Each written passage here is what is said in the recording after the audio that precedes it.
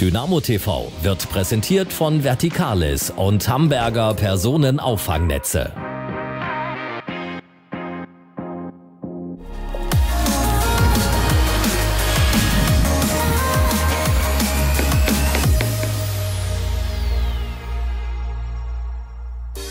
Wenige Tage vor der Fertigstellung sind auf Dresdens schönster Baustelle am Messering 18 die Gewerke vor Ort, die Dynamos neuem Trainingszentrum den letzten Schliff verpassen.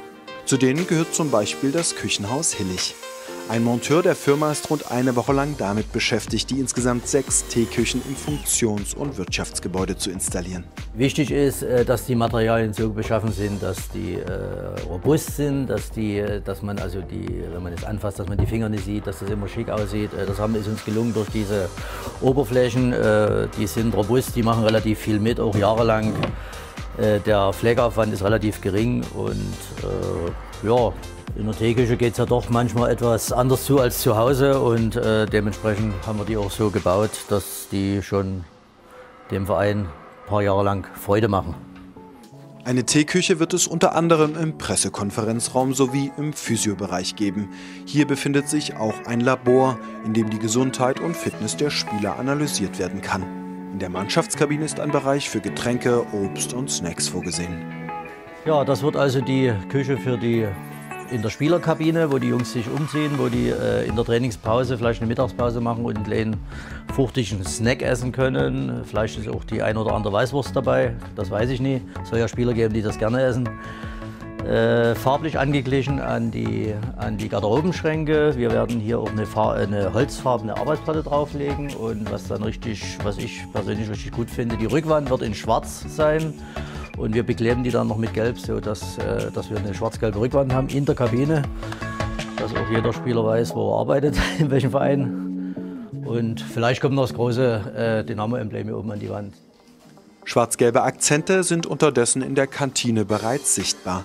Hier montiert die Firma Püchel den sogenannten Free-Flow-Bereich, wo sich die Profi- und Nachwuchsspieler der SGD in den Pausen mit Speisen und Getränken stärken können. Außerdem sorgt das Dresdner Unternehmen für die Ausstattung der Großküche. Zwei Stockwerke tiefer, im Foyer, setzt Dynamos kaufmännischer Geschäftsführer Michael Born gerade die Plombe mit Zeitdokumenten vom Tag der Grundsteinlegung in den repräsentativen Sandsteinquader ein. Anschließend kümmert sich Steinmetz Joachim Krell darum, dass der über 200 Kilogramm schwere Grundstein einen festen Platz in Dynamos neuem Eigenheim bekommt. Das ist ein, ein Poster aus Sandstein aus der sächsischen Schweiz. Ein sehr hartes Material und aber auch ein sehr gut bearbeitbares.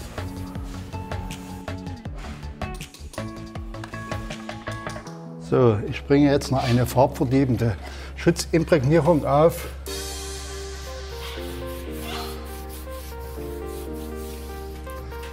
Da bleibt uns der Nasslook erhalten.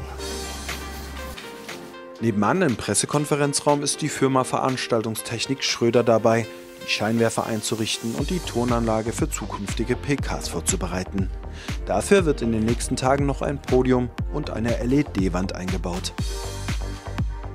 Unterdessen ist die Teeküche in der Mannschaftskabine schon so gut wie fertig. Hier und da noch ein paar Schrauben justiert und allmählich ist alles bereit für die feierliche Übergabe der Immobilie an den Verein.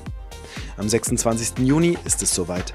Dann ist Dynamos neues Trainingszentrum ein Meilenstein in der Vereinshistorie. Nach zwei Jahren Bauzeit pünktlich bezugsfertig.